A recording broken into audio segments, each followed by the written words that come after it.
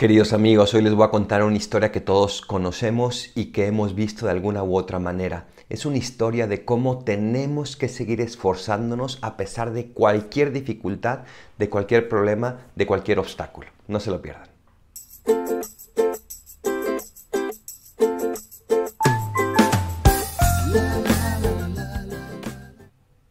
Y todo lo hemos visto porque es la historia de un pájaro que está armando su nido y va con paciencia agarrando ramita con ramita, palito tras palito y va llevándolo pacientemente a ese lugar que había escogido para poner ese nido. Llega un viento y se lleva lo que llevaba.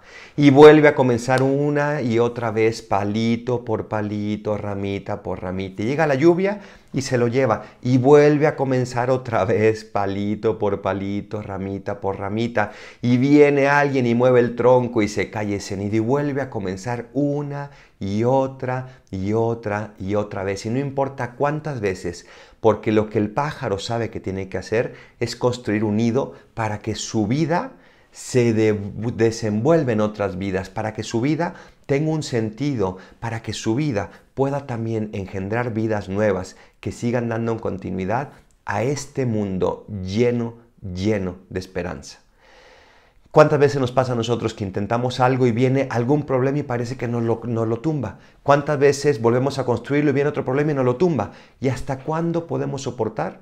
Hasta que sepamos que eso Dios no lo quiere. Mientras tanto tenemos que seguir intentándolo una y otra vez, ramita tras ramita, palito tras palito.